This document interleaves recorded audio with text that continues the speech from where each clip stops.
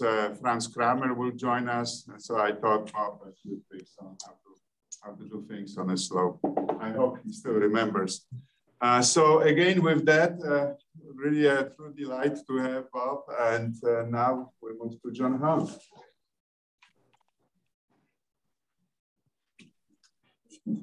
Hello, it is my pleasure to introduce Dr. Robert Molday, Professor of Biochemistry, Molecular Biology, Ophthalmology, and Vision Sciences, University of British Columbia. He serves as Director of Center for Macular Research at UBC. Dr. Molday received his master's in chemistry at Georgetown University, his PhD in, in biochemistry at UPenn, and did a postdoctoral fellowship in chemistry a postdoctoral fellowship at Caltech. He served on the editorial board. He has served on the editorial board of multiple journals, including Scanning Microscopy, Experimental Eye Research, Journal of Biological Chemistry and Molecular Vision. He has been on many scientific, scientific advisory boards and committees, including Foundation Fighting Black Blindness, Macula Vision Research Foundation, and NEI Vision Research National Plan, and ARVO Awards Committee. He has served as consultant for multiple companies, including Merck, Amgen, Biogen, and Novartis. He has multiple patents on polymer microspheres and particles for cell separation. He is notable for the development of 1D4 monoclonal antibody used widely for purification of rhodopsin and 1D4 tag proteins. He has characterized peripherin to peripherin to ROM one complex and rod outer segment discs. He has also characterized the CNG channel, retinoschisin ABC4 and P4 ATPase. He has successfully developed gene therapeutic applications for restoration of photoreceptor function survival in RD3 mouse, a model of LCA12. As such, Molday's research interests span wide, widely from membrane protein structure and fun function, phototransduction, gene therapy of inherited retinal degenerative diseases, and phospholipid flippases. So without further ado, it is our pleasure to have Dr. Molday present his talk for today.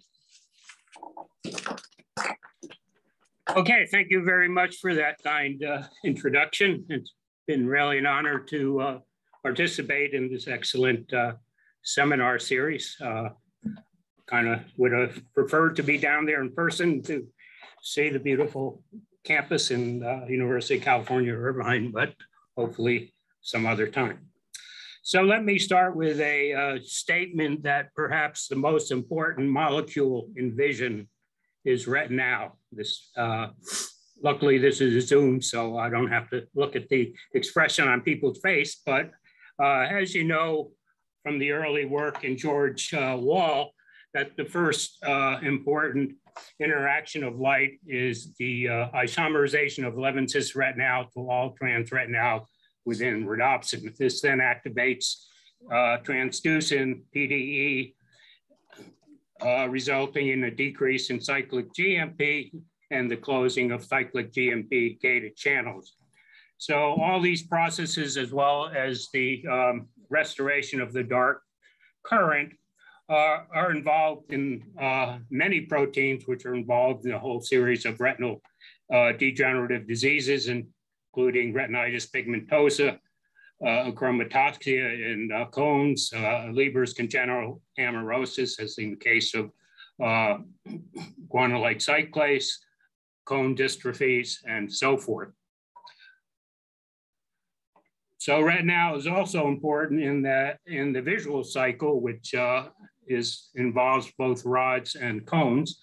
Here it just shows the con canonical uh, visual cycle in which uh, all trans retinal uh, produced from the uh, photoexcitation of rhodopsin then is converted through a series of reactions involving both the photoreceptors and retinal pigment epithelial cells back to 11 cis retinal. So clearly there's a high flux of retinal through photoreceptor cells as well as the RPE cells. And although retinal is essential for vision, it's also a very toxic uh, molecule. And we can relate this for people outside the vision field with cholesterol, which cholesterol is essential for membranes and the synthesis of uh, steroids, but it also is toxic if not handled properly. In the case of retinal, it's usually either sequestered within a protein, as in the case of rhodopsin, or it's uh, quickly reduced to all trans uh, retinol as part of the visual cycle.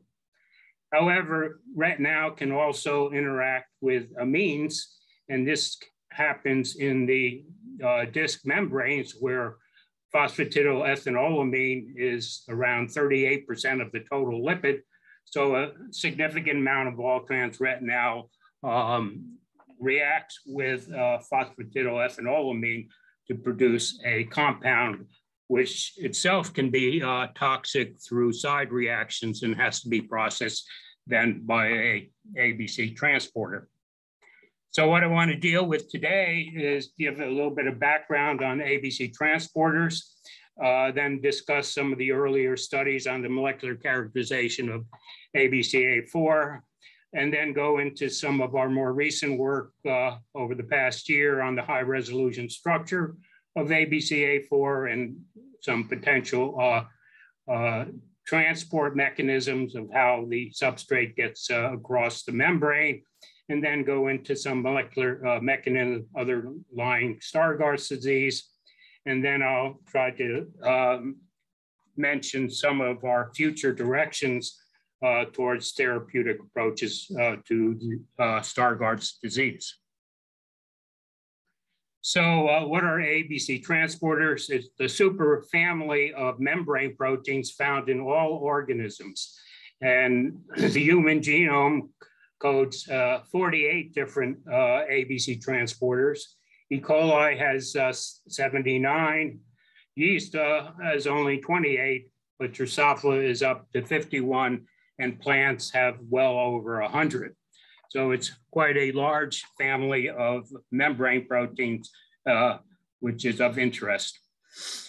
So what do ABC transporters do? As the name suggests, they're ATP binding cassette uh, transporters in most cases that transport any of a wide variety of different uh, types of mo uh, molecules across the membrane.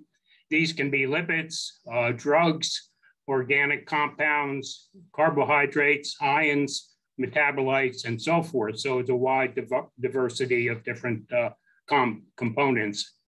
In the case of eukaryotic uh, ABC transporters, uh, these are mostly what's referred to as exporters.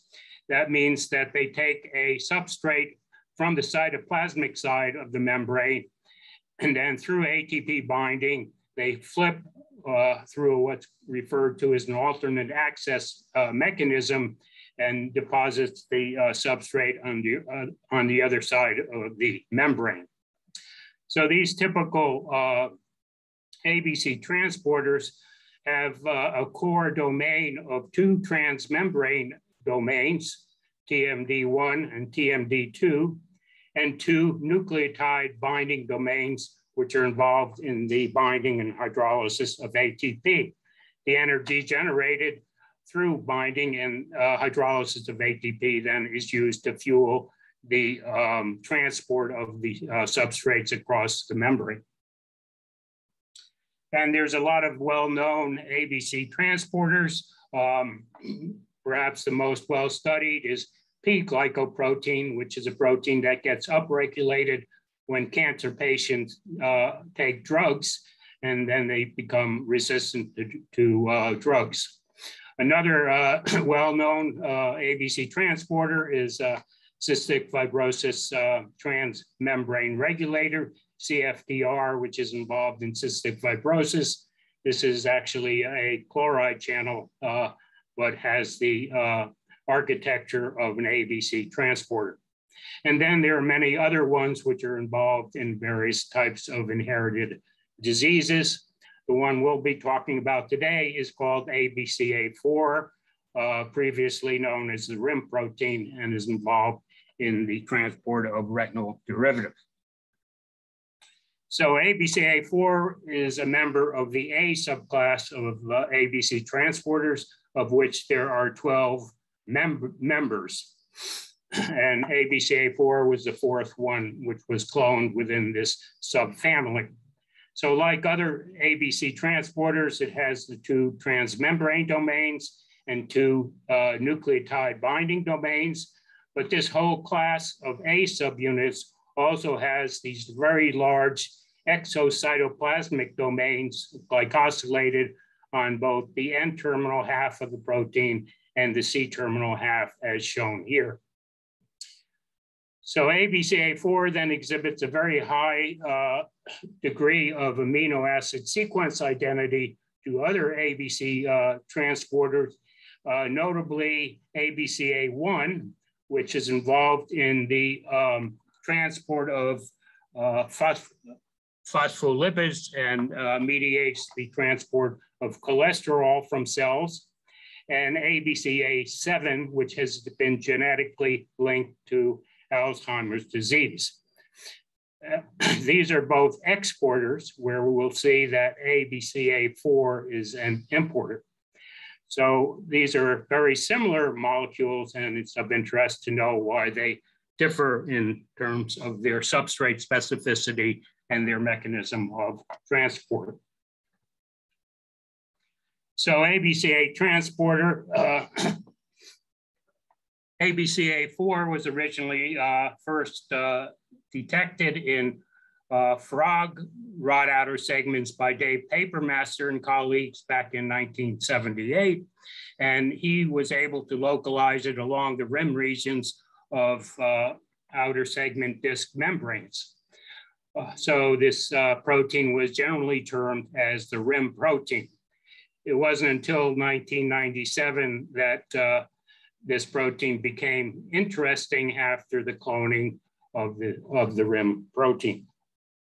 And so this just shows the localization of ABCA4 along the rim and incisures of photoreceptor outer segments rods. And this is just immunofluorescence uh, uh, micrograph showing uh, ABCA4 primarily present in outer segments and some ABCA4 also present in the inner segment. At a higher resolution, one has immunogold labeling uh, showing the rim regions on each edge of the uh, outer segment and along the incisure. ABCA4 is also present in cone um, outer segments. We showed this uh, early on uh, by labeling a human foveal section where within the foveal it's pure cones and one can see the red labeling. And in the flanking regions where you begin to get rod uh, expression, then we have a merged image of uh, rhodopsin in green and ABCR in red to produce a more yellow image. At a biochemical level, ABCA4 is a very large protein of uh, 2,273 amino acids in humans, and it can be visualized by uh, in purified outer segments as this high molecular weight protein of around 250. And this protein then can be readily purified by immunoaffinity methods from outer segments as shown here. So what is the, what does ABCA4 do? Well, we in collaboration with uh, Hui Sun and Jeremy Nathans uh, purified ABCA4 and asked the question, what are the potential substrates for this protein? And previous studies with other ABC transporters showed that when you add the substrate to these uh, ABC transporters, they activate the ATPase activity. So looking at a large number of potential molecules, the addition of retinal, either all trans retinal or 11 cis retinal to ABCA4 reconstituted into vesicles resulted in a dramatic increase in the ATPase activity, suggesting that ret retinal may be a substrate for ABCA4. However, we also know that all trans retinal the aldehyde uh, reacts with amino groups to form the Schiff base uh, complex called N-retinylidene uh, phosphatidylethanolamine or NRET-PE for short. And our recent data suggests that a full bleach of outer segments, 50% is present in all trans retinal as a free retinal, and 50% is conjugated to uh, phosphatidylethanol to produce NRET-PE. so we asked the question, what is the actual substrate? Is it retinal or N-retinylidene PE? So we let ABCA4 determine this by simply uh, conjugating ABCA4 to uh, solid phase and then passing retinal in the presence of PE down the column and then analyzing what was bound. And this turned out to be N-retinylidene PE as analyzed by HPLC and spectroscopy. So the direction of transport was interesting because uh, general models suggested that it was actually an importer, not an exporter, but there was no experimental evidence for this. So we developed a uh, reconstitution system uh, to uh, monitor the direction of transport. In this system, we have what's called donor vesicles with ABCA4 reconstituted into these vesicles and acceptor vesicles with no transporter inside. So then upon the addition of ATP, then ABCA4 flips N-retinylidene uh, PE from the inner leaflet to the outer leaflet where it can dissociate, leaving a higher concentration of retinal on the outer surface and a certain amount of retinal then will diffuse into the acceptor uh, vesicles. And this is just shown in this graph where upon the addition of ATP, one sees a large increase in um, uh, the transfer, transfer of uh, retinal from donor to acceptor vesicles. And this does not happen when you have an a, a, a ATP non-hydrolyzable derivative. So this is the general model then uh, where light interacts with rhodopsin uh, and ABC uh, 4 has two roles.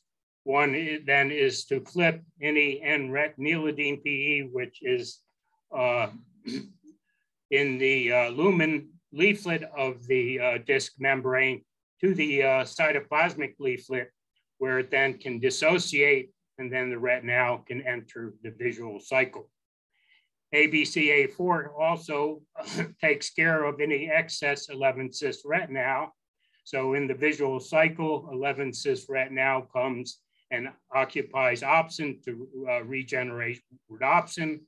But any excess uh, 11 cis retinal will react with uh, PE and any of this that gets trapped on the lumen side then can be um, transported to the cytoplasmic side uh, using ATP as an energy source. And then a chemical isomerization then will result in, in the uh, trans uh, derivative of uh, NRET-PE, which can then dissociate into PE and retinal and then re-enter the visual cycle. so um, the, pro the uh, what was missing with all this is the high resolution structure of ABCA4 uh, because we wanted to uh, know whether the structure did agree with some of the previous biochemical studies uh, on the identification of the substrate and uh, transport across the membrane. We wanted to get some information on the possible mechanism of transport and its relation to other ABC uh, exporters. And also the structure can provide then important insight into the molecular mechanisms under, underlying Stargardt's disease. And finally, the structure of ABCA4 will be important in de developing novel therapeutic strategies uh, to prevent slow or eliminate uh, Stargardt's disease. So in uh, 2017, Gong's uh, laboratory from China first published the high resolution structure of ABCA1 in cell. And this is basically what it looks like. And one can model ABCA4 based on ABCA1, but it was encouraging that you can determine the high resolution structure of this membrane protein by cryo-electron microscopy. So uh, we were waiting uh, for the high resolution structure of ABCA4 to be determined by a uh, structural group. Uh, 2019 came along and we still had no structure of ABCA4. So a very talented uh, postdoc in my lab, Jessica Scortecci from uh, Brazil, joined my lab and we decided that we would give it a try uh, since it didn't look like anybody else was interested in determining the structure of ABCA4. So the uh, procedure that we used was uh, simply to uh, transfect um, cells with a plasmid which contains your human ABCA4 with a 1D4 tag, transfect cells uh, which are grown in uh, suspension, namely 293 cells, harvest the cells, solubilize the cells in mild detergent, do a simple centrifugation to remove any uh, material that hasn't been solubilized, then simply throw it through a Rho 1D4 immuno affinity column to get a protein which is over 95% pure. Do a second step of size exclusion to remove any aggregates and any residual proteins and then voila, you have the protein which you can study in detergent micelles or put back into nanodiscs. We use uh, primarily uh, the protein in detergent micelles since it has better access to uh, substrates. so here's a little bit of the data. Uh, this is the uh, Coomassie blue of your lysate from 293 cells expressing ABCA4, and you can see hundreds of different protein bands. In this, after simple affinity purification, you can see a very pure ABCA4 protein with a few minor components, possibly chaperone proteins that may bind to a small fraction of a ABCA4. After uh, size exclusion chromatography, then we have a purified ABCA4 and one can look at the uh, homogeneity of the preparation by negative staining EM, and this is just an example of ABCA4, which is deposited onto uh, grids for electron microscopy. One also has to show that these uh, the purified ABCA4 is functional, and we just show this again by ATPase activity and the activation of the activity by NRET PE. So once one has a preparation, then it's fairly straightforward to quick freeze it by plunging, uh, putting a little bit of the protein, a couple of microliters on a grid, plunging it in liquid ethane, uh, then imaging under high resolution cryo-EM uh, to get two-dimensional projections, which can then re be reconstructed into a 3D map. And from the 3, 3D map, one can then generate a model based on the sequence of the protein. So we had all the facilities available at uh, UBC. I think we have three of them now, high resolution uh, cryo-EMs. And we were then able to um, generate the high resolution structure of ABCA4 However, we were wrong in the sense that other groups were also interested in ABCA4, and we all published uh, the structure of ABCA4 uh, last year. One group is uh, Jeannie Chen's group from Rockefeller, who's uh, well known for determining the structure of CFTR, and uh, Gong's group from uh, China, who also had published previously the structure of ABCA1 but all structures uh, in different states uh, were all uh, essentially exactly the same, which was good news. So what does ABCA4 look like? It has these uh, domains, as we said before, the cytoplasmic domain, which can now be separated into the nucleotide binding domains, And at the very base are regulatory domains. Uh, at least they're called regulatory domains, whether they actually regulate or clamp the nucleotide binding domains together is unclear. Then your transmembrane domains. And this region then has pseudo twofold symmetry. But then in the uh, exocytoplasmic domain, these uh, two uh, regions from the um, N half and C half of the molecule seem to intertwine each other and don't show any real um, twofold symmetry. Of interest then is the um, size of ABCA4. So in the lumen region of the disk, it goes uh, out from 100 to 120 angstroms. In the disk membrane, it's about 40 angstroms, and in the cytoplasmic region, it's 70 angstroms. Um, so this is interesting in relation to the size of the disk membranes with Kris's lab had uh, shown nicely uh, the various uh, dimensions.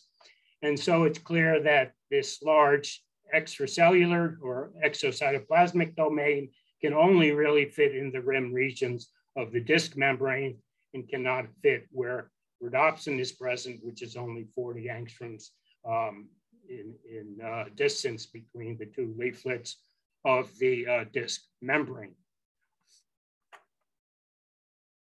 So we can look a little bit about the at these uh, domains. Uh, perhaps the most interesting for us is the transmembrane domains. And one can see it has a V-shaped uh, uh configuration, uh, which is referred often to an open outward conformation, where um, the uh, individual transmembrane segments of TMD1 and TMD2 seem to fold separately and are very highly in, in contact with the lipid bilayers. In one region, however, the, the uh, two transmembrane domains come together on the cytoplasmic side, and this is through transmembrane 5 in uh, TMD1 and transmembrane 11 uh, in transmembrane 2.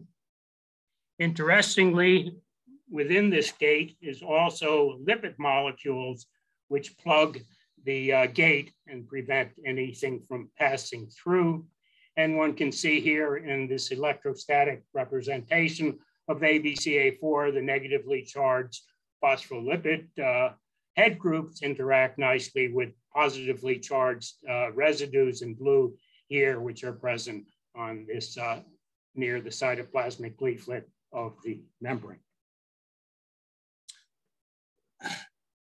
So um, another interesting feature of uh, the transmembrane regions are these um, helical turn, helical regions, regions of the uh, protein that only partially enter the uh, bilayer and then come back out of the bilayer as shown here in TMD1 and also found in TMD2.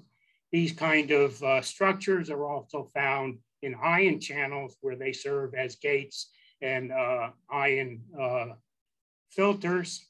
And so in the case of uh, ABCA4 or ABCA uh, sub uh, class, these are also present within the molecule. And this is just shown here in a cartoon of showing the helical regions, the alpha turn alpha region. Another interesting aspect then is the extracellular domain or the exocytoplasmic domain, which is highly glycosylated. And the structure did, in fact, identify the um, eight glycosylation sites, which uh, our lab and Kris's lab were, has shown by various methods, both site-directed mutagenesis as well as uh, uh, proteomics as well as uh, a large number of disulfide bonds, which are uh, within the uh, exocytoplasmic uh, domains. And one, one uh, disulfide bond, which we showed earlier, likely existed between the ECD1 and ECD2. So what does this look on a structural basis? Well, as in the case of ABCA1, it can be decided, divided into three parts. The base that interacts with the transmembrane domains as shown here. Then a region which is referred to this as a tunnel, which in the top view has a very large um, groove or opening, some of which is uh, occupied by um, probably detergent. And then at the very top is referred to as the lid. This is a highly flexible region where one can't get very good uh, resolution as to what the actual structure is. And we were also show, able to show that this one disulfide bond between the ECD1 and ECD2 is in fact uh, easily represented within the structure. The uh, cytoplasmic domain is uh, not overly interesting in the sense that the nucleotide binding domains are very characteristic of the nucleotide binding domains that have been um, resolved in other ABC transporters and show the various motifs, Walker A and Walker B motifs, and in a head to tail configuration where one nucleotide binding uh, domain is opposite in uh, the tail region of the other nucleotide binding domains. They are reasonably close together as opposed to some of the other ABC transporters, probably maintained in close contact with these uh, RD domains as shown here. The RD domains also contain this ACT domain, which is a beta, alpha, alpha, beta, alpha, beta structure as shown here. Uh, the ACT domain has been suggested in other proteins to bind small molecules and regulate their activity. Whether this is the case with ABCA4 remains to be determined. Perhaps of more interest to us was uh, the where the actual substrate binds. So we were able to uh, determine the structure of ABCA4 with its bound NRET PE.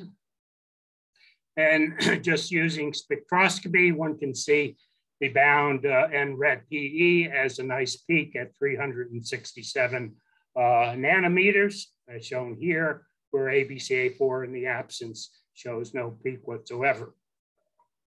I draw your attention to the interesting um, properties of uh, NRET-PE, namely they're extremely hydrophobic. This retinal group is extremely hydrophobic, as are the fatty acyl chains of phosphatidylethanolamine. And this is then uh, interspersed with this highly charged, negatively uh, charged phosphate group and the polar uh, N nitrogen of the Schiff base. So somehow this structure has to fit in ABCA4.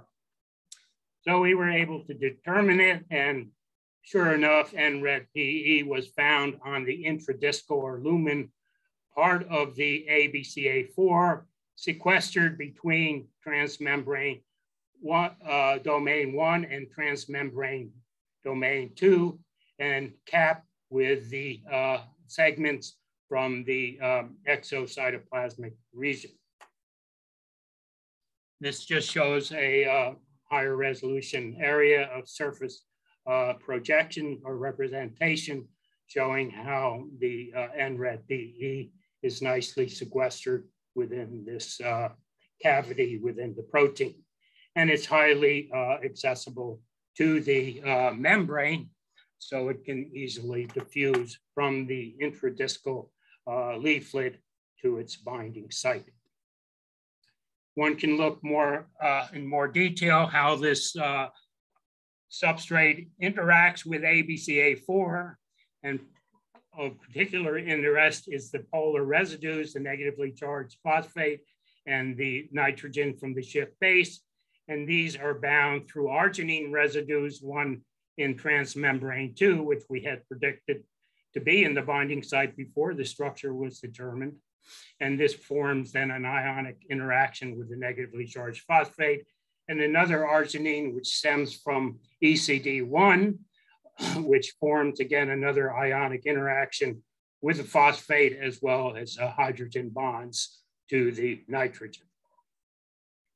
However, other residues also contribute to the binding site, namely aromatic residues, um, including a uh, tryptophan at 339 coming from the B loop of the ECD uh, part of the molecule, tyrosine residues 340 and 345, and a phenylalanine uh, showing forming these hydrophobic interaction with the retinal group.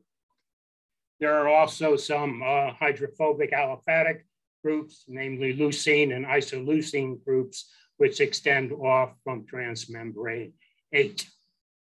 The actual acyl groups, however, seem to be just floating there in this hydrophobic pocket, which is a good thing because uh, groups uh, can have different sizes and different orientations. So it can accommodate uh, NRET-PE with all different types of phosphatidylethanol side chains. So uh, in summary, then uh, NRET-PE is um, sequestered in its binding site by, by both positively charged arginine residues and hydrophobic residues. So we were interested to know whether specific, uh, what importance specific amino acids play in the binding. So we did site-directed mutagenesis of a number of these uh, residues. Uh, and we focused on W339G, which is involved in Stargardt's disease, uh, arginine 587 alanine, which we interact with the phosphate group and the and, uh, and the nitrogen, and uh, the uh, tyrosine 345 and arginine 615. And when we did this, uh, we were able to get very good expression of all these wild type based expression as shown in this Coomassie blue uh, figure. And when we analyzed the ATPase activity, they all had very good basal activity uh, consistent with wild type, but they lacked their ability to be uh, activated by NRET-PE. And this was true also for transport and also by simply uh, analyzing the binding of NRET-PE, this was uh, binding was deficient when any of these residues were uh, mutated to other residues. So all these residues appear to be very important in the specific binding of this residue. So the uh, structure of ABCA4 in the uh, ATP bound state has also been done. It was first done by Chen's group. We also have a structure, although we haven't published it, but it, uh, again, identical. But what happens when you add ATP, then the ATP binds and the two uh, nucleotide binding domains then come in close interaction with each other. And this causes this massive conformational change, first shown by Kris's uh, uh, lab at a lower resolution, but at a higher resolution, one can see you lose the gap, you lose the uh, binding site collapses, and it forms this uh, very closed structure. And this is consistent with the idea that as soon as you add ATP, the NRET-PE then um, no longer binds to ABCA4. Uh, again, the nucleotide binding domain is pretty similar to other ABC transporters where the ATP uh, bound with magnesium is present in both uh, nucleotide binding domains, which come in close uh, proximity in a head to tail fashion in a dimeric type of configuration. So basically, it suggests that in three states, you have uh, ABCA4 in the apo state, uh, NRET-PE in the uh, leaflet then is able to uh, diffuse to the binding site simply by diffusion and the structure of ABCA4 in the substrate uh, bound state and its apo state are essentially identical with only minor changes within the uh, binding site. So it's really a pre-made uh, binding site for NRET-PE. ATP then produces this significant uh, conformational change resulting in the movement of NRET to the other side of the membrane. So this produces a bit of a problem in terms of the mechanism of how NRET-PE can actually move across the membrane through ABCA4. And one has to consider the amphipathic nature of the substrate, namely the polar residues don't want to be in contact with the hydrophobic region of the bilayer. Uh, you have a variable size and conformation of these fatty acyl chains. So you have to have a protein that can accept this kind of uh, diversity of acyl chains. And unlike virtually all other substrates, you have to actually change the orientation of the substrate 180 degrees because you want your polar uh, groups to be 180 degrees offset as you flip the uh, molecule from one side of the membrane to the other. So a, decent model for that is what's known as a credit card model. And this is where um, when you uh, put your credit card into a machine and you have your either magnetic strip or your chip, it doesn't matter who's holding the card or anything along that line. The only thing that's important is the magnetic strip.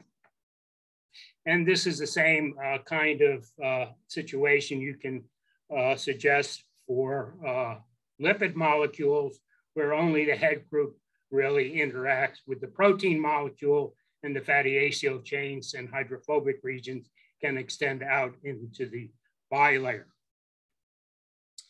So looking at ABCA4 structure, very interestingly, there is a groove uh, through the transmembrane region, which is uh, produced by these uh, helical turn helical regions, EH3 and EH4, and transmembrane region 12.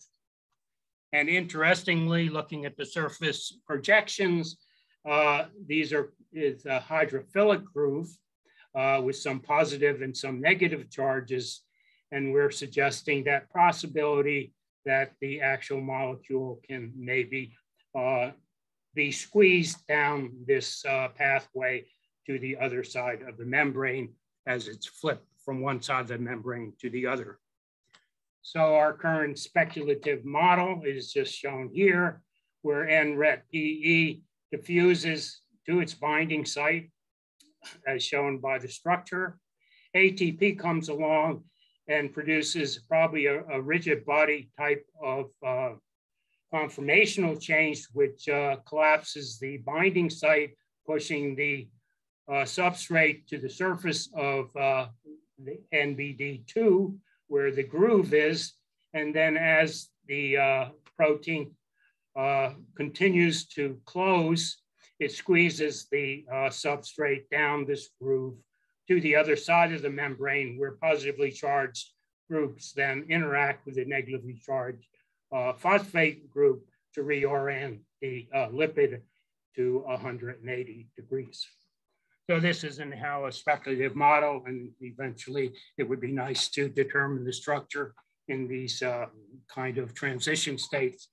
Uh, however, this is more challenging.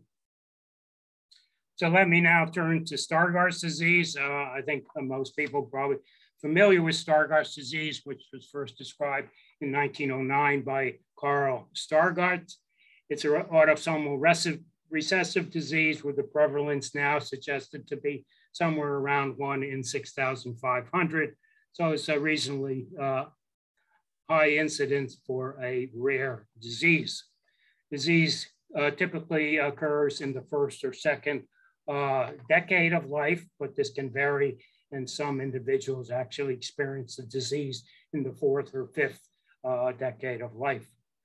It's a progressive disease that uh, results in the loss in visual acuity in the initial phases of the disease. And this then can extend to the peripheral uh, vision in later stages of the disease.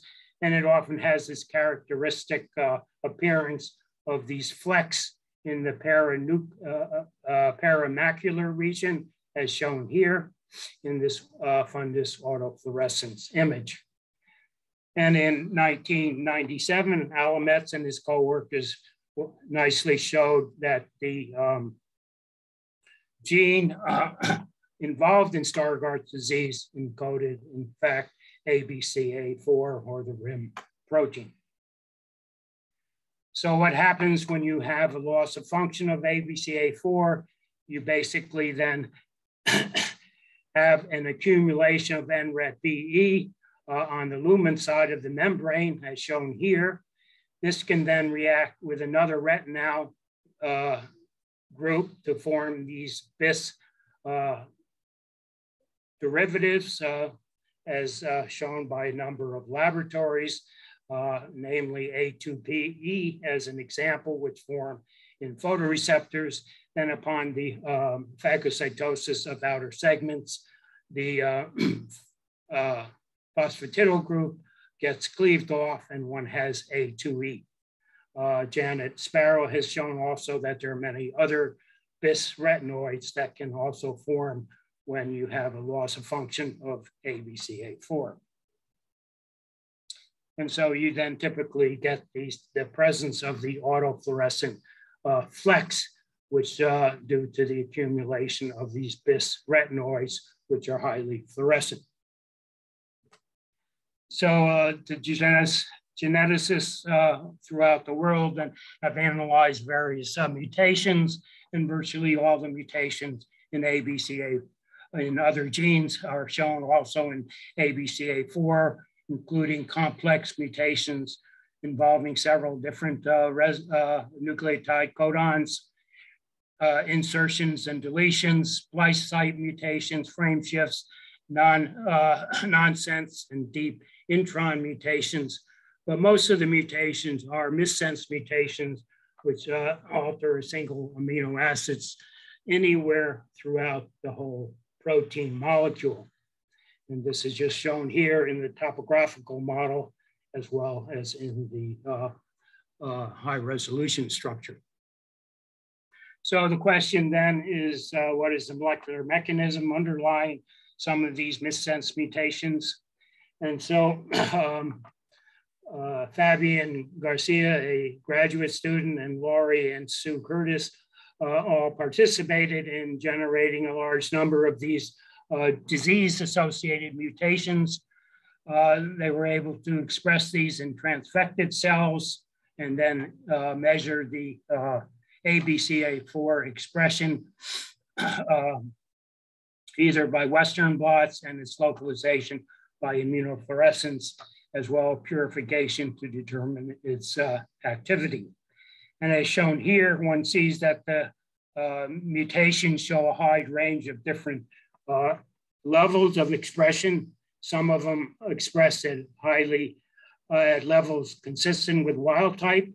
These then have a localization of this punctate uh, appearance, suggesting that the ABCA4 is exiting the ER and is being sequestered within uh, vesicles or uh, other structures within the cells.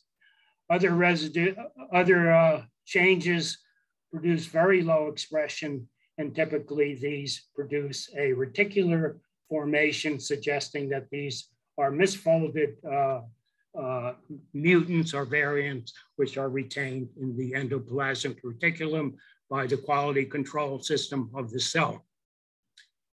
We then can look at the activity and many of the mutants show really almost no activity at all, very baseline, and no activation by NRET-PE. And these are associated with also often with very low expression levels. And these typically are involved in severe global protein misfolding. A second class are more moderate, where there is reduced expression. So there's probably some protein misfolding, but there is some activity. The basal activity is typically lower than that found for wild type, and the activation does occur, but this is lower than that of the wild type. And then finally, we have the third class where these mutants, disease mutants, uh, show expression and wild type activity um, as shown here. So the question is, do the are these really uh, disease mutants? If one goes further and looks at the binding of NRET-PE, in fact, these mutations show much lower binding of NRET PE, suggesting that these work well at high retinal concentrations, but have a hard time really reducing uh, the NRET PE at much lower concentrations. So these produce a more mild phenotype. One can also suggest two other types of mechanisms. One, as we discussed previously, are mutations within the binding uh, site in which the uh, protein expression is normal and the basal activity is normal, but one has no activation of NRET-PE. So these would be considered quite severe mutations because of the lack of activity, uh, substrate activated activity. And then there's another class of uh, mutation within the nucleotide binding domain, which show wild type uh, expression, but show no activity whatsoever due to the fact that they have no, um, they are uh, defective in ATP hydrolysis, such as this uh, glutamate 1087 uh, aspartic uh AB, uh, Stargardt disease mutant. so we asked the question, can you at all correlate the uh, expression and activity with the uh, severity of the disease? So we uh, developed this functional factor, which is essentially uh, the relative expression relative to wild type times the relative uh, activation by NRET-PE and we plotted the functional activity versus the age of onset for individuals who are homozygous for this given mutation. As shown here, the majority of the mutations are uh, occur at very early onset and considered to be very severe uh, disease. But some of the ones who do show some activity do uh, correlate reasonably well with the age of onset so for example, the R2107H has reasonable activity and has a very late onset. Um, and this particular mutant uh, has almost wild type activity, uh, but does show some um, disease uh, phenotype. we uh, also did this for uh, heterologous uh, individuals which have a trans variant which has no function, such as a, a null allele. And again, we get some kind of correlation, not perfect by any means, uh, but there is some correlation. So the difficulty here from the clinical side is that often there's only a few Stargardt patients that one can deal with, and often the age of onset is not well documented. At the genetic side, we may also have some genetic modifiers or socio environmental factors which may contribute also to the onset. And the biochemical side, we're only looking at really two parameters, uh, expression and, um, NRET activation activity. But really, we should also consider other parameters such as the affinity of ABCA4 for substrate. And this, for example, would bring down uh, this particular mutant probably down closer to uh, a better correlation. Okay, so let me just finish up with where we are going or where we hope to go with very limited data. And this is therapeutics. So as uh, one knows, there's many different types of uh, therapeutic approaches being uh, carried out for Stargardt disease. These include drug therapy, gene therapy, neuroprotective approaches, uh, nutrients, and stem cell technology, among others. However, at present, there's no real effective uh, therapies for this disease, although some are in clinical trials. So a number of labs have concentrated on the visual cycle with the just premise that if you do reduce retinal, you'll reduce the production of these bis retinoids, which are suggested to be the cause of uh, Stargardt disease, and various types of drug inhibitors uh, inhibit various uh, uh, enzymes in the visual cascade system, as shown here. Uh, a particularly promising one is a deuterated uh, vitamin A derivative, which uh, is also show, has shown to limit the production of A2E. However, our approach was really to um, use either personalized or precision uh, approaches uh, for drug therapy. And that's generally involves identification of compounds that can enhance the activity of ABCA4 through improved protein folding or enhanced functional activity. The paradigm here is Vertex uh, Pharmaceutical Company, which has identified compounds which target uh, cystic fibrosis transregulator or cystic fibrosis, as we mentioned before, another member of the ABC transporter. And these are basically corrector drugs that enhance the protein folding and trafficking of uh, CFTR to the cell surface, and another group of uh, drugs which are potentiators that enhance the activity of CFTR. And such drugs are, have passed through uh, clinical trials and are now used in combination to uh, quite nicely affect uh, or uh, uh, help individuals with certain forms of cystic fibrosis. So our current strategy then is to apply this drugs to ABCA4 missense variants through drug screening using to identify pharmacological agents which can target specific ABCA variants to correct either protein folding or enhance the functional activity. Once we have drugs that do bind, we can use cryo-EM electron microscopy with, to identify the binding site for the specific drug. Once we have this information, then we can use computer-assisted drug design, namely artificial intelligence, to identify structures, improve structures in a new generation of drugs. These then can be designed and then further evaluated with the hope then that we can go eventually to preclinical uh, tests on animal models and eventually clinical trials.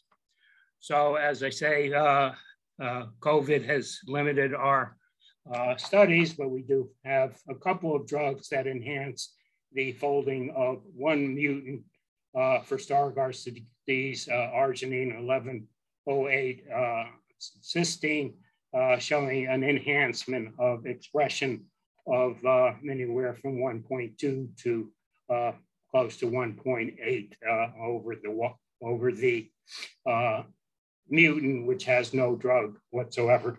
So we have to still push on with this kind of methodology.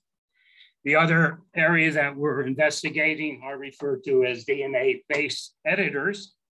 Uh, so our view is to encapsulate the RNA of these base editors that can change a specific uh, nucleotide which has is uh, defective in um, a given missense mutation.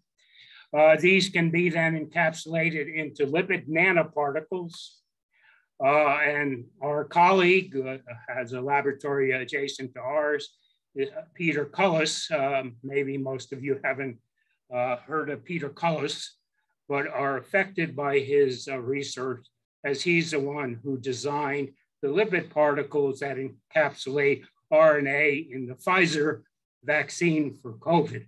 So if you've had a jab of uh, the Pfizer vaccine, these are the lipid particles which encapsulate the RNA or the vaccine. So we're hoping to use this type of technology uh, then to transfect photoreceptors in mice and, and uh, harboring a, a, uh, specific disease mutation and then look for rescue. The other area would be to use these virus-like particles that uh, David Liu and uh, has developed recently and are look quite impressive and can also be used to encapsulate either RNA uh, or protein and be also used in conjunction with base editors. So we don't have any data for this. Uh, so this is uh, currently uh, on uh, being carried out. So uh, because of the time, I won't go into the conclusions, but basically it just acknowledged the people in our laboratory, our current members, as shown here, some of the race, recent members who've been instrumental in some of the work I just talked, as well as uh, previous laboratory members. We also had collaboration with Philip Van Petegem, who's a structural biologist, uh, works on ion channels, and he has uh, made sure we were on the right track with ABCA uh, forest structure and function, and then some other projects and the present grants and, and resource facilities for these uh, uh, projects. Uh, thank you very much then for uh, uh, listening and I'm happy to answer any questions.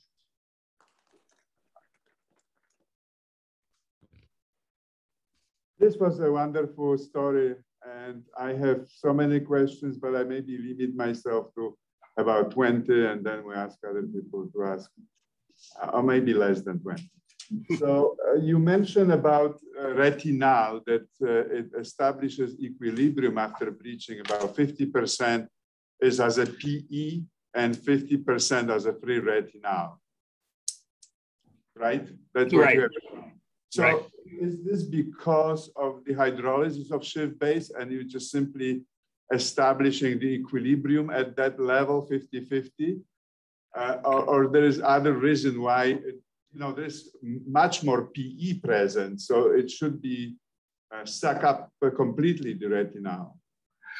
Yeah, we've uh, done a fairly systematic study with model systems uh, where we um, can show that there is a dependence of uh, the concentration of PE in in vesicles, which are produced, can be produced at different uh, concentrations of PE. So it, it is an equilibrium process and the 50% is uh, total amount of um, NRET PE just after bleaching. So probably half of that may be on the cytoplasmic side and the other half would be on the movement side. And I think this equilibrium is very important because ABCA4 itself is not of that active a protein. So a lot of the uh, release of retinal is still probably through mass action. And so um, one has to do more, but it's quite uh, interesting that so much of the retinal released from rhodopsin quickly does uh, uh react with PE. So the, the second question uh, quickly to RPE expression of ABC4. What are your thoughts about uh, that and the function, if, if any? Of, of what expression? Of, of ABCA4 expression in RPE. Oh, um, yeah, well, uh, I guess if one ever looks for ABCA4 expression without putting a lot of emphasis, you don't see it because it's only like 1% of what's present in, um, in photoreceptors. But uh, if you've done like uh, Radu did and do a very systematic uh, analysis, then there's probably very small amounts are present. Uh, and they may function uh, either because retinal can diffuse into RPE cells and you will react to some degree with um, PE and has to be flipped or coming from um, the phagocytosis of uh, outer segments. So I think it's there. Do I think it's extremely important? Probably not. So I think if you were targeting just photoreceptors with therapeutics, I, my hope would be that most of the uh, problem would be solved as opposed to having to worry about the small amounts in RPE. But of course, I could be wrong.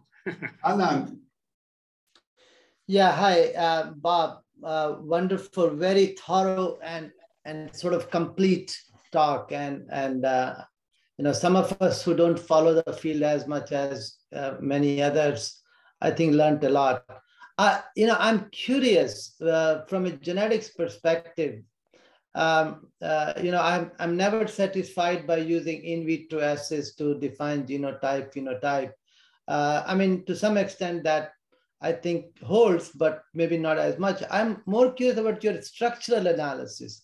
I was wondering, based on your uh, based on your uh, you know cryo EM structure, can you predict um, uh, that you know can you predict whether certain mutations will give more severe phenotype than what has been seen in ABCR or ABCA4 knockout mice? Or maybe in another way, um, can you look at uh, variants that people predict are associated with AMD, at least with all this thing going on?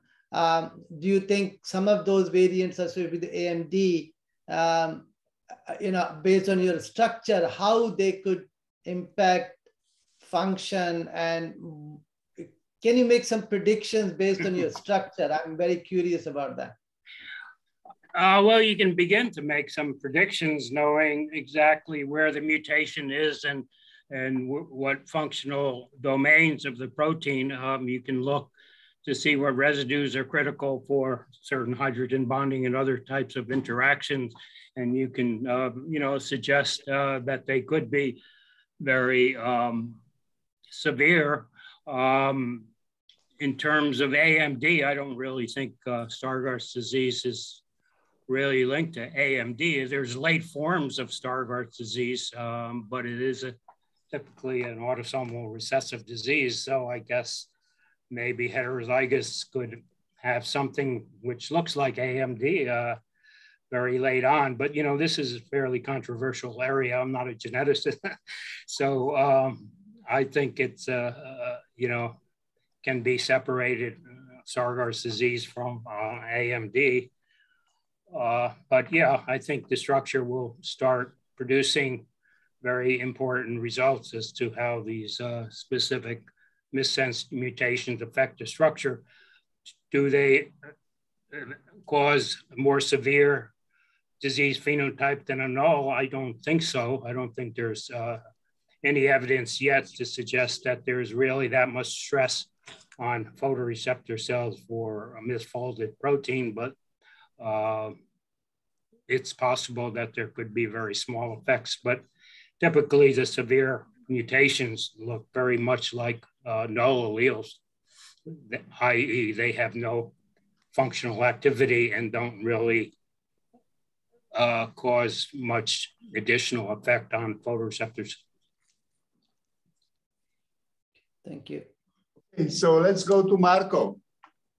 Hello, Prof. Mulday. Thank you very much for uh, the presentation. It was fantastic. I have a question about uh, the production on AB, uh, ABCA4 uh, prior crystallization. So basically, uh, you show that you use X cells. And I just I wanted to know if before moving to X cells, you try the expression in bacteria and insect cells. Uh, how, how do we uh, measure these? How do we do the expression? If you tried to produce the protein in bacteria and in insect cells before moving to X cells, or you went straight for X cells? Um, Did you try to express in bacteria, Bob?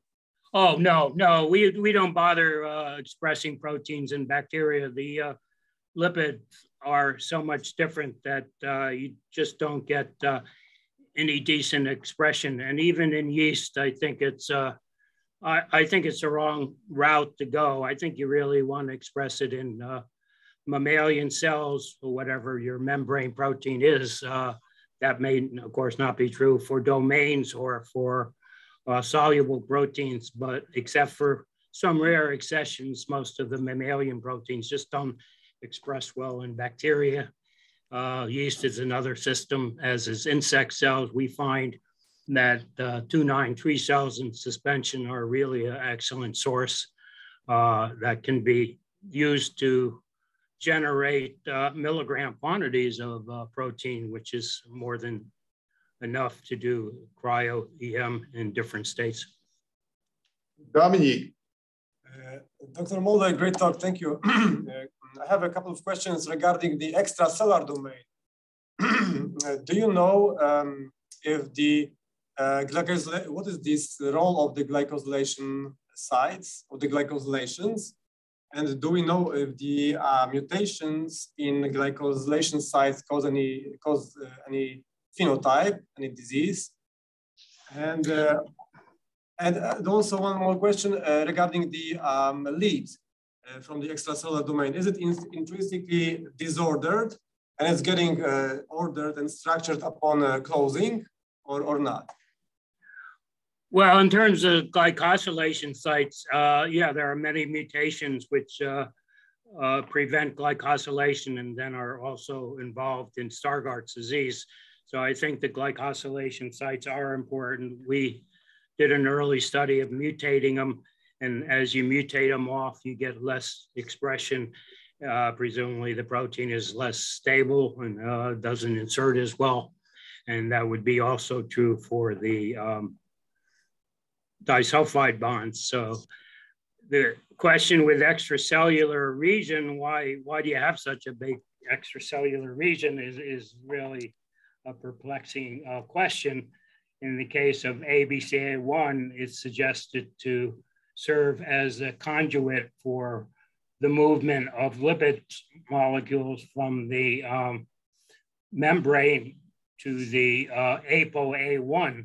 So the lipid molecules could actually move through this uh, tunnel there and uh, access the ApoA1. In the case of ABCA4, there's really not much in the uh, lumen of the disk. So it may be simply mainly a structural uh, uh, domain, although, you know, more more studies have been are required and it's possible that it could also bind retinal or some other derivative uh, which may play an important role in the regulation of the protein. But, you know, these are questions that, you know, have to be eventually answered. Dorota. Hi, uh, this is Dorota Skowronska-Krawczyk from uh, CTVR here. It was a fantastic talk. Thank you for clarifying so many things for me. Um, I um, I was um, struck by the um, how big um, structural change, uh, substantial structural conformation change has to happen for um, this uh, model and even for the credit card model, right? Uh, it has to be like a whole turn, but or half turn. Um, but we know that the lipid surroundings of ABCA4 is at least on the fatty acids level pretty rigid. And uh, I wonder what you think about it and um, how how do you oh, my, my actually major question is whether you have tried some of those mutations um, uh, in the native somewhat lipid surroundings to see whether it will change their activity compared to the micelle, micelles um, activity. Uh, yeah, that's uh, definitely an interesting question. Uh, uh of particularly interested in is this binding site of uh, the lipid in uh, the cytoplasmic region. And that's those lipids are present in all ABCA structures uh, found to date. And that has caused problems with some people who try to purify the protein in the absence of lipid. So those lipids are quite critical. And uh, some of the residues that interact with that lipid uh, when mutated do also call Stargardt's disease in terms of the surrounding part of the protein molecule, yeah, we've done the structure in, in detergent. So you have a, um, a detergent wrapped around the transmembrane region. Uh, some structures have been coming out of ABCA7, I think, in uh, lipid nanoparticles, uh, where you do have the bilayer and more ordered lipids, but the structures seem to be pretty similar. Uh, so I think basically that the protein really has to be interacting with a hydrophobic environment to um, generate its proper structure, whether that's through detergent molecules or through the lipid bilayer. I think in both cases, they are producing um, structures that are uh, pretty close to native. Rafael. Hi, Dr. Molde. Thank you for the inspiring talk. Uh, my question is somewhat related to Dorota's question, I think, but uh, more on the molecular level. I was wondering if you have any insight if the lip acyl chain composition of phosphatidyletanolamine would affect the rate of transport of uh, N-retinylidene PE across the, the lipid bilayer. Yeah, that's um that's a good question. Uh, we did show early on that uh, you could use different uh, uh, phosphatidylethanolamenes with uh, the DHA uh, side uh, acyl groups much longer and much more unsaturated in place of, uh, we use typically uh, dioleo uh, fatty acyl groups.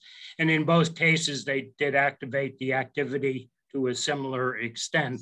So I think the fatty acyl groups could have um, some effect on the rate at which it does uh, transport. Uh, the model would suggest that most of the acyl groups would be out in the bilayer, so may have only a minor effect on the rate and uh, the ability of the uh, substrate to bind to the uh, ABCA4.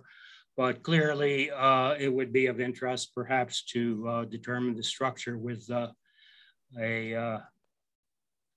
substrate that has a much longer fatty acyl chain and more unsaturated to see if you know that affects either this uh, how it's organized within the uh, binding site and uh, if one could do kinetics of actual transport whether it affects that too. It possibly it could. All right so we had a wonderful conversation. Uh, last three questions Radha, Philip, and John. Okay, thank you, Chris. Uh, it's a wonderful talk, uh, Bob. Really enjoyed. I have a question which is somewhat related to Anand's comment. Uh, so, like, you know, you have shown elegantly like uh, the formation of this misfolded protein aggregates, so which is the basis for the essay. Um, so we also like, you know, um, the same thing was also observed in other cases, other misfolded proteins. Uh, again, your lab showed very nicely the ELOVL for misfolded protein forming these aggregates, and um, also my lab did the same. And uh, with reference to P23H, so that's that's one of the things early established the formation of these misfolded proteins and formation of aggregates. But however, have you seen this in vivo? Because these are we all we have seen this in a um, you know cell culture, mainly the COS cells and other cells. So have you observed this in any of the in vivo models? How do we process what? Have you not have you observed the formation of these misfolded protein aggregates in vivo? Uh, no, we haven't. We haven't uh, done any of that that work. You think it's important to do that? So, in case of P23H, which is a very well studied model, and uh, you know they have shown the formation of the same misfolded protein aggregates, but I have not observed anybody demonstrating it in vivo because that's a very well studied model. I am wondering whether you have any thoughts on why and uh, uh, because in case of ELOVL4, you know, you have shown that in uh, um, cell culture and we did the same. And we, when we tested in the mouse model, we did not see that. And uh, um, I had a few discussions with people on P23H and they said they have not seen, but at the same time, uh, you know, I, I didn't have, you know, detailed understanding of what they have done. So that's why I'm asking. Yeah, I mean, we we've only looked at one model, which was the N965S uh, for ABCA4, and what we observed really was that uh, there was an accumulation of ABCA4 in the inner segment, presumably to, to a high degree in the uh, ER, but we didn't really uh, observe any um, aggregates, and we don't really see aggregates per se in 293 cells or COS cells, we sort of see sort of this reticular distribution as if the protein is there, but it's um, could be partially aggregated, but not visually uh, detected by fluorescence microscopy. But then the other fact, uh, yeah, I think your point is well taken that sometimes you see things in um, cultured cells which are not truly found in uh, in vivo possibly due to the different ways that specific cells uh, handle these misfolded proteins. Philip. Hi, Dr. Molday. Oh, sorry. Uh, really, really nice talk. I mean, uh, just to reiterate, it's very inspiring for me, you know, as a, somebody who, who likes to link molecular studies to translational science. It was really, really, uh, you know, inspiring talk. So thank you very much and congratulations on, on uh, determining the ABCA4 structure. So my question kind of already got asked, but it, regarding the extracellular domain, but I was wondering, I mean, one of the things that having these high resolution structures could enable you to do is, for example, design rationally uh, chimeras and, you know, it might enable uh, a study of really the role of that extracellular domain, either in binding things or trafficking or so on. so it's just a thought I had that I thought I'd share with you. But again, very nice work. Thanks for presenting. Yeah, thank you. Yeah, I think, uh, you know, we do have some ideas on how to get ABCA4 to the cell surface by doing various types of chimeras and uh, by doing some mutations in the extracellular domain. So yeah, those are kind of interesting questions and on, ongoing work in our lab. Thank you very yeah. much for the question. Yes, uh, hello, great talk. I, I really love um, learning a, a, lot about ABC4 and its mechanism was very, very fascinating to, to learn about. Uh, one question I had was going back to the first question um, about the reversibility of the hydrolysis and then followed by also the condensation of the Schiff base being a reversible reaction.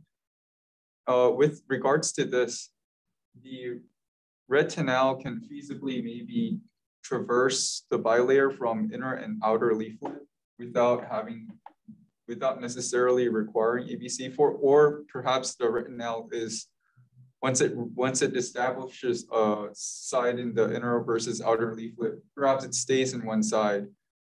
Uh, if, if, it, if retinal is freely moving from inner and outer leaflet via just um, diffusion and um, kinetics of condensation and reversible, uh, reversible hydrolysis, where do you think the role of ABC4 is in the disease of, of, of Stargardt disease?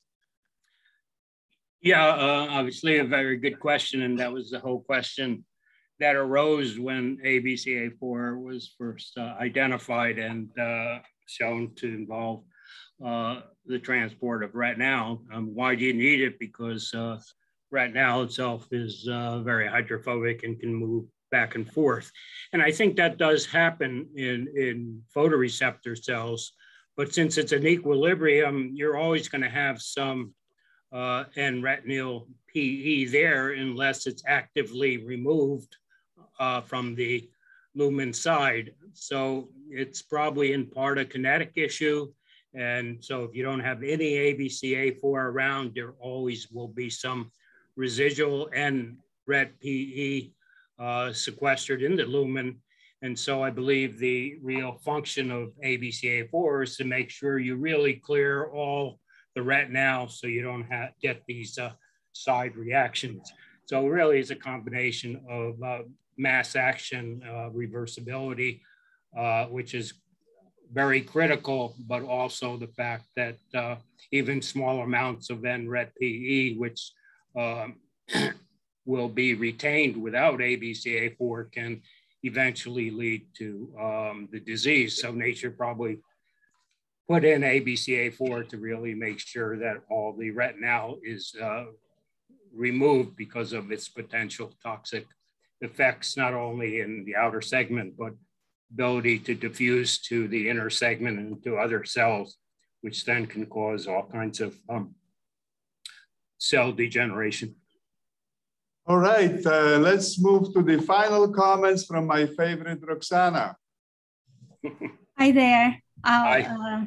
Uh, uh, thank you very much, Chris. And uh, um, Bob, really outstanding presentation. I really enjoyed that. And uh, thank you, Chris, for asking that question regarding ABCA4 in the RPE.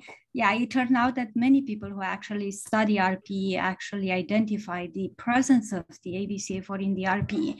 And for us, or at least for me, the question, uh, you know, that raised what ABCA4 does in the RP came from, you know, very naive, uh, you know, approach phagocytosis. So phagocytosis happen every single day.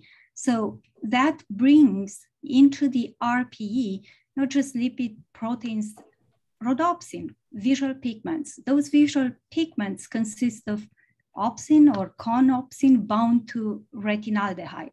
In a dark adaptive state, that will be primarily 11-cis retinaldehyde. But we all know that once the protein degrades, it will release that pool of free retinaldehyde. So that goes to you where the free aldehyde comes in the RP.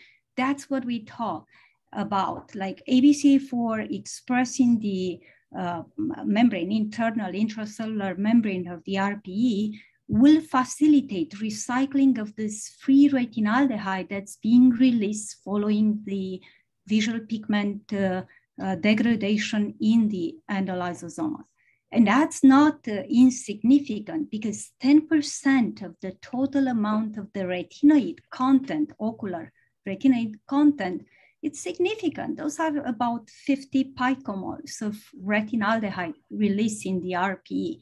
So what does happen with that? So, and that's how, you know, kind of uh, we describe the mechanism of the ABCA4 working in the RP. It's the same, it binds to P's in internal membrane and it flexes in the same way that it would do in the disc membrane of the photoreceptors. So that was the comment. And yes, indeed, it's very low abundant compared to the photoreceptor expression, but I definitely think it has tremendous significance when it comes to aldehydes recycling or detoxifying in the RPE. All right. Thank you very much, everybody. We have a lot thank of things you. to do. Great job.